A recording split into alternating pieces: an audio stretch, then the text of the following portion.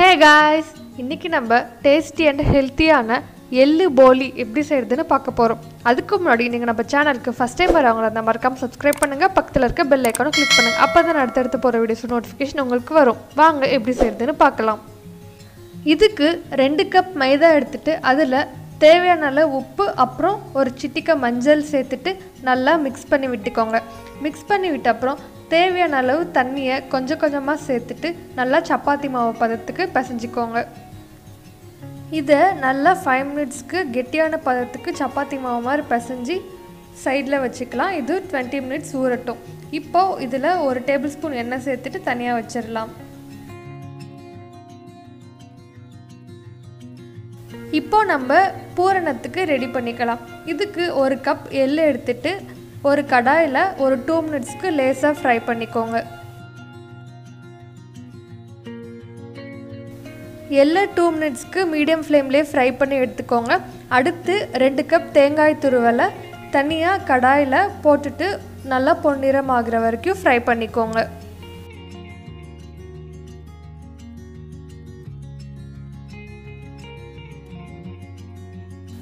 Medium ஃப்ளேம்லேயே வச்சுட்டு தேங்காய் துருவலை நல்லா ஃபைவ் மினிட்ஸ்க்கு ஃப்ரை பண்ணிக்கோங்க. இதில் இருக்க ஈரப்பதம்லாம் போயிட்டு இப்போ பாருங்கள் நல்லா கலர் சேஞ்ச் ஆயிடுச்சு நம்ம வறுத்து வச்ச எள்ளு அந்த சூடு கம்மியான பிறகு மிக்சியில் போட்டு இதை ரவை பதத்துக்கு பொடிச்சு எடுத்துக்கலாம்.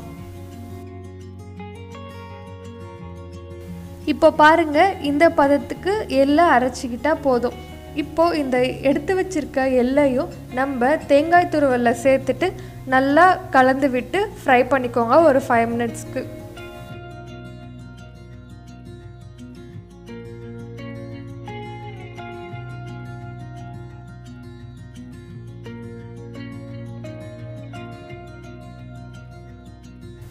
எள்ளும் தேங்காய் துருவலும் நல்லா மிக்ஸ் ஆயிடுச்சு இப்போ நம்ம ரெண்டு கப் வெல்லத்தை நல்லா பொடிச்சு இதில் சேர்த்துக்கலாம். அதையும் சேர்த்துட்டு நல்லா மிக்ஸ் பண்ணி விட்டுக்கோங்க.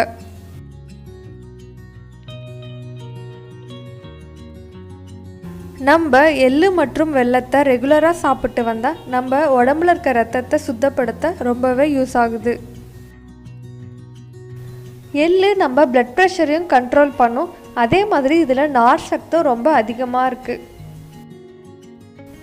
வெல்லம் எள்ளு தேங்காய் துருவல் எல்லா பொருட்களையும் நல்லா மிக்ஸ் பண்ணி ஃப்ரை பண்ண பிறகு இதில் ஒரு டேபிள் ஸ்பூன் சுக்கு ஏலக்காய் தூளை சேர்த்துட்டு திரும்ப நல்லா மிக்ஸ் பண்ணி விட்டுக்கோங்க. இப்போ நம்ம ஃப்ரை பண்ண எல்லா பொருட்களையும் மிக்சியில் சேர்த்து லைட்டாக அரைச்சி எடுத்துக்கலாம். இந்த பதத்துக்கு வந்தால் போதும். ரொம்ப அரைச்சிக்க வேணாம். நம்ம மிக்சியில் அரைச்சி எடுத்த பூரணத்தை கையில் லேசாக நெய் இல்லைன்னா எண்ணெய் தடவிட்டு சின்ன சின்ன உருண்டைகளாக பிடிச்சிக்கலாம். இப்போ பாருங்க எல்லா பூரணங்களையும் உருண்டைகளாக பிடிச்சாச்சு. அடுத்து நம்ம போலி செய்ய ரெடி பண்ணிக்கலாம்.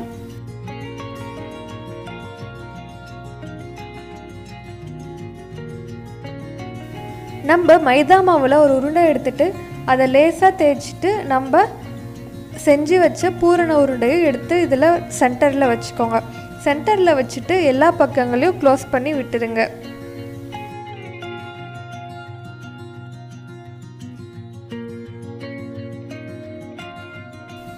எல்லா பக்கங்களையும் க்ளோஸ் பண்ணி விட்டுட்டு இப்போ நம்ம சப்பாத்தி கட்டையில் லேசாக தேய்ச்சிக்கலாம்.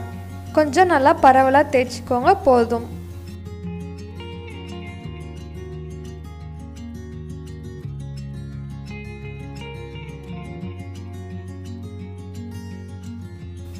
இந்த சைஸ்க்கு தேய்ச்சா போதும். இப்போ நம்ம தவாவை ஹீட் பண்ணிவிட்டு அதில் ரெடி பண்ணி வச்ச போலியை சேர்த்துக்கலாம். சேர்த்துட்டு இதில் தேவையான அளவு நெய்யும் சேர்த்துக்கோங்க. இன்னும் நல்லா வாசனையாக இருக்கும்.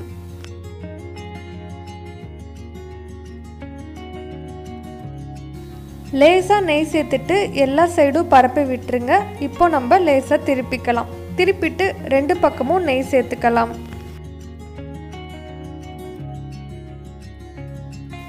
எள்ளு மற்றும் வெள்ளத்தை ரெகுலராக சாப்பிட்டு வந்தால் நம்மளுக்கு எலும்புக்கு நல்ல சக்திகளை கொடுக்கும்.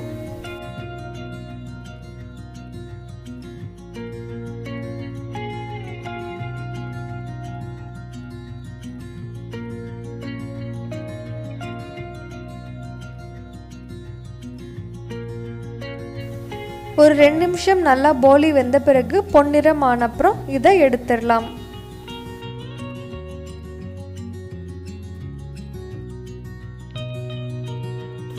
போலியை சப்பாத்தி கட்டையில் தேய்க்கிறத விட நம்ம கையிலேயே கூட நெய் இல்லைனா எண்ணெய் சேர்த்து ஈஸியாக தட்டிடலாம். இந்த மெத்தடும் யூஸ் ஃபாலோ பண்ணிக்கலாம்.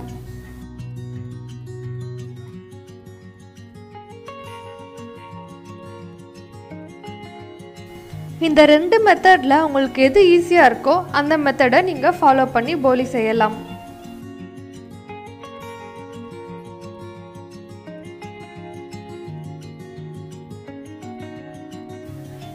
டேஸ்டி அண்ட் ஹெல்த்தியான எள்ளு போலி சர்வ் பண்ண ரெடி ஆயிடுச்சு இதை நீங்களும் வீட்டில் ட்ரை பண்ணி பார்த்துட்டு எப்படி இருக்குன்னு கமெண்ட் செக்ஷனில் சொல்லுங்கள் இந்த வீடியோ உங்களுக்கு பிடிச்சதுன்னா லைக் பண்ணுங்கள் ஷேர் பண்ணுங்கள் சப்ஸ்கிரைப் பண்ணுங்கள் தேங்க்யூ